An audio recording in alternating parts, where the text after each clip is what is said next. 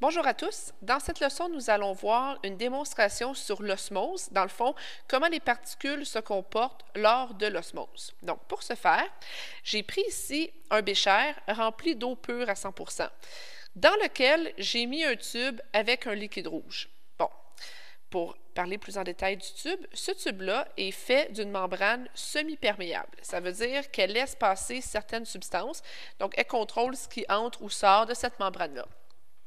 Généralement, les trous qui composent la membrane euh, ne peuvent pas laisser passer des grosses particules comme celles de sucre, par exemple. Donc, ça va seulement laisser passer les particules d'eau. Aussi, à l'intérieur, j'ai mis du sirop de maïs, qui est dans le fond de l'eau très, très, très sucrée. J'ai mis aussi un peu de colorant alimentaire pour que ce soit plus visuel, mais dans l'exemple ici, ça n'a pas vraiment d'impact.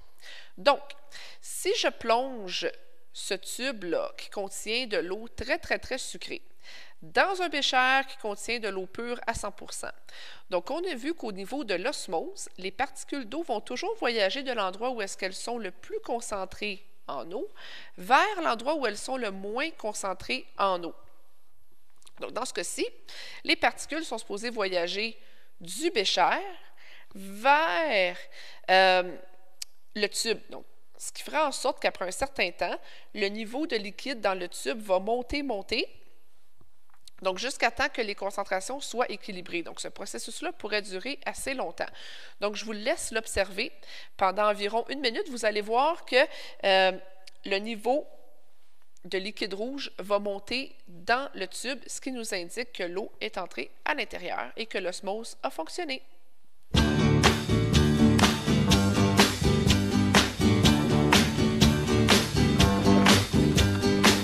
forgot.